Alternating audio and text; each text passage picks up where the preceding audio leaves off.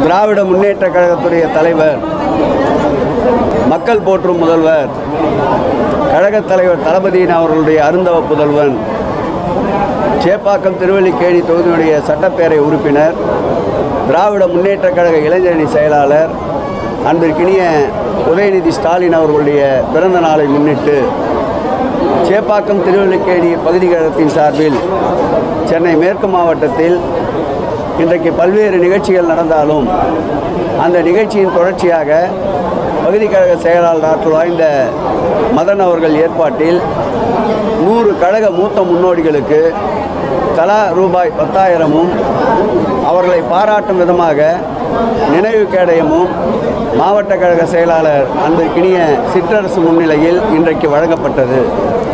பொருள் எவ்வளவு இருந்தாலும் எவ்வளவு பெரிய செல்வந்தர்களாக இருந்தாலும் கொடுப்பதற்கு மனம் வேண்டும். அந்த கொடுக்கின்ற மனம் இந்த இயக்கத்துடைய தலைவர் ஆரம்பித்து அடுத்த கட்ட தலைவர்கள் ஆரம்பித்து கழக நிர்வாகிகள் ஆரம்பித்து கடைகோடி தொண்டன் வரையில் இருப்பதை மற்றவர்களுக்கு கொடுக்கின்ற இயக்கம் திராவிட முன்னேற்ற கழகம் என்பதை இந்த நிகழ்ச்சி நிரூபித்திருக்கின்றது. அந்த வகையிலே இன்றைக்கு திராவிட முன்னேற்ற கழகம் ஆட்சி பொறுப்பு ஏற்ற பிறகு கொண்டாட்டங்களை தவிர்த்து கொரோனா நோய் தடுப்பு தடுப்பு நடவடிக்கையிலே குறைந்தபட்சம் ஒரு ஐந்து மாதத்திற்கு மேலாக மாண்புமிகு தமிழக முதலமைச்சர் அவருடைய சீரிய தலைமையில் அவருடைய அயராத உழைப்பில் அவருடைய வழிகாட்டுதலில் இன்றைக்கு கொரோனாவை தமிழகம் வென்றெடுத்திருக்கின்றது.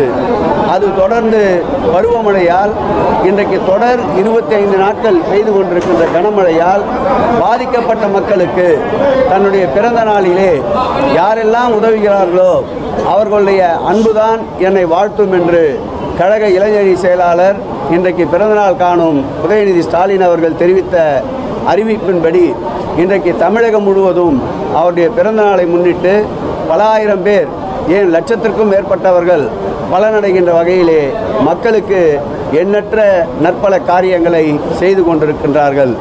திராவிட முன்னேற்ற கழகம் ஆட்சி பொறுப்பை ஏற்றவுடன் இந்த ஆட்சி என்பது ஐந்தாண்டுகளுக்கு அல்ல பத்தாண்டுகளுக்கென்று மாண்புமிகு தமிழக முதல்வர்கள் அறிவித்து தொலைநோக்கு திட்டங்களை கையில் எடுத்து செயல்படுத்தி கொண்டிருக்கின்றார். இன்றைய சூழ்நிலையில் இன்னும் ஒரு அரை நூற்றாண்டிற்கு திராவிட முன்னேற்ற கழகத்தை தமிழ் மண்ணிலே யாரும் அசைத்து பார்க்க முடியாத அளவிற்கு இயக்கம் தொடர்ந்து வலுப்பெற்று வருகின்றது. அடுத்த அரை நூற்றாண்டிற்கு இந்த இயக்கத்தை எடுத்து செல்வதற்கு தளபதி அவர்களுக்கு தோல் கொடுக்க அவருடைய புதல்வர் அன்பிற்கினிய உதயநிதி ஸ்டாலின் எல்லா வகையிலும் தகுதியுடையவராக தன்னை மாற்றிக்கொண்டு அரும்பணியாற்றி கொண்டிருக்கின்ற அவர் நல்ல உடல் நலத்தோடு தீர்க்க ஆயுஸ் ஆயுசோடு தெளிந்த மனதோடு பல்லாண்டு வாழ எல்லாம் வல்ல இறைவனையும் இயற்கையையும் இந்த நேரத்தில் வேண்டுகிறோம்.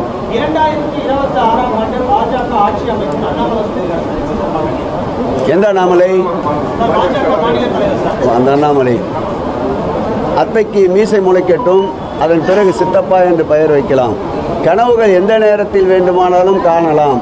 இது திராவிட மண் பெரியார் பூமி. தொடர்ந்து திராவிட முன்னேற்ற கழகம் தான் ஆட்சி கட்டிலே இருக்கும். திராவிட ஆட்சி தான் தொடர்ந்து இந்த மண்ணிலே நடைபெறும். வாரிசு அரசியல் இதெல்லாம் தாண்டி தான் ஸ்டாலின் அவர்கள் சட்டசபையில் தென்மையோட ஜெயிச்சு வந்திருக்காரு உதயநிதி மேலையும் வாரிசு அரசியல் குறிக்கப்பட்டு பாஜக மாநில அண்ணாமலை நீங்க ஒரு கருத்து சொல்லியிருக்காரு திமுக என்பது குடும்பத்துக்காக ஒரு நாள் குடும்பத்திலே நடக்கக்கூடிய ஒரு கட்சி என்று சொல்லியிருக்காரு இன்றைய தினம் உதவியோட உதயநிதி சாரோட பிறந்தநாள் வந்து கட்சிகள் கொண்டாடப்படுகிறது இது அவருடைய கருத்துக்கு வலு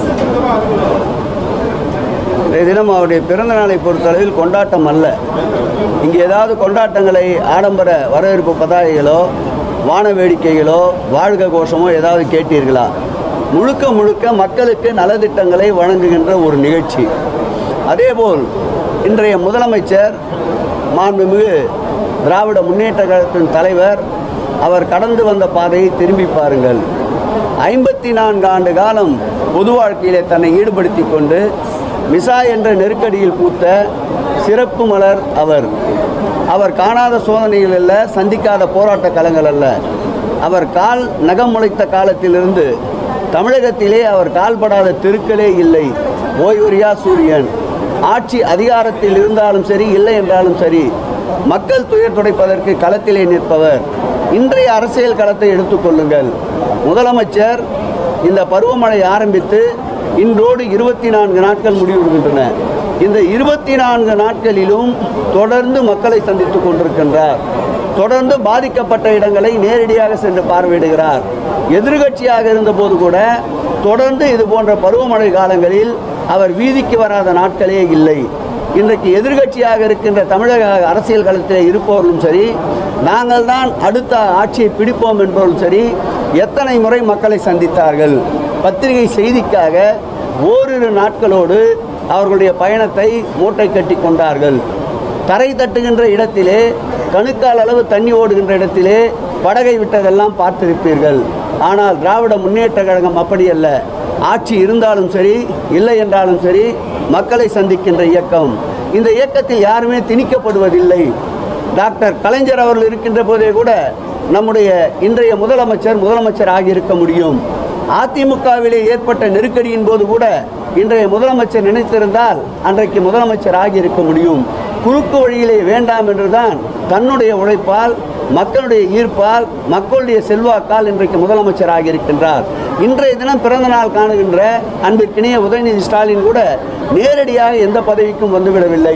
நாடாளுமன்ற தேர்தலில் சூறாவளி சுற்றுப்பயணம் மேற்கொண்டார். ஊன் உறக்கமின்றி தொடர்ந்து நடைபெற்ற இடைத்தேர்தல்கள் சமீபத்தில் நடந்து முடிந்த பொது தேர்தல்கள் இவைகளில் தமிழகத்திலே மாண்புமிகு தமிழக முதலமைச்சர் அவர்களுக்கு அடுத்தபடியாக நெடுந்தூரம் சுற்றுப்பயணம் மேற்கொண்ட ஒருவர் என்றால் அன்பிற்கினிய உதயநிதி ஸ்டாலின் அவர்கள்தான். உழைப்பவர்கள் இந்த இயக்கத்தில் தொண்டர்களாக தூக்கி வைத்து கொண்டாடுகிறார்களே தவிர இது வாரிசு அரசியல் என்று சொல்ல முடியாது. இந்திய துணைக்கண்டத்தை எடுத்துக்கொண்டால் பல்வேறு மாநிலங்கள் இருப்பது போல் தமிழகத்திலே திராவிட முன்னேற்ற கழகத்திலே வாரிசு அரசியல் இல்லை. உழைப்பவர்கள்தான் உயர்த்தப்படுவார்கள். அதுவும் கழக தொண்டர்களால் உயர்த்தப்பட்டவர்கள்தான் தலைவராக வருவார்கள். இதுதான் திராவிட முன்னேற்ற கழகத்தின் சித்தாந்தம்.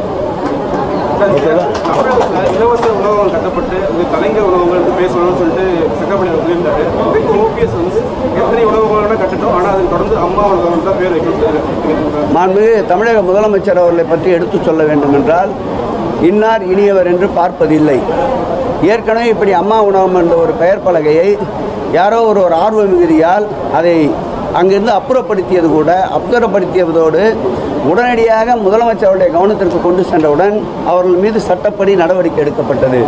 ஆகவே அறிவிக்கின்ற புதிய திட்டம்தான் இந்த கலைஞர் உணவகமே தவிர இருக்கின்ற திட்டத்தை இருக்கின்ற திட்டத்துடன் பெயர்களை மாற்றுகின்ற காழ்ப்புணர்ச்சி மிக்க முதலமைச்சர் நம்முடைய தமிழக முதலமைச்சர் அவர்களில் எல்லோரையும் பொதுவாக பார்ப்பவர் எல்லோரிடம் இனிமையாக பழகுபவர் எல்லோரிடம் எளிமையாக நடந்து கொள்பவர் அனைவரும் மனிதர்கள் என்று மதிப்பளிக்கக்கூடிய மனிதாபிமானம் மிக்க முதலமைச்சர் தான் மாண்புமிகு தமிழக முதலமைச்சர் அவர்கள்.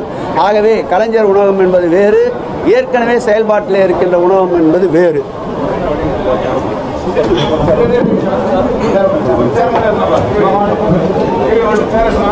you.